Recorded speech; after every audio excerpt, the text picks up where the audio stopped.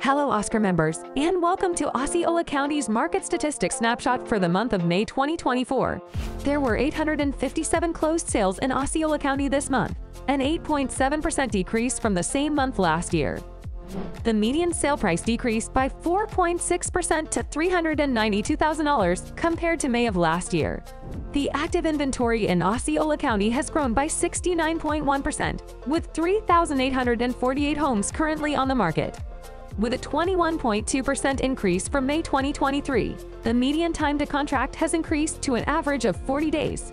Osceola County home sales are now at 97.5% of the original list price, decreasing 0.2% from May of last year. The supply of inventory in Osceola County is at 5.2 months supply. This is a 73.3% increase compared to last year. If you have any questions or would like to find a realtor for your Osceola real estate needs, please visit our website at osceolarealtors.org or check out our Facebook page for consumers. Homeownership Matters Central Florida.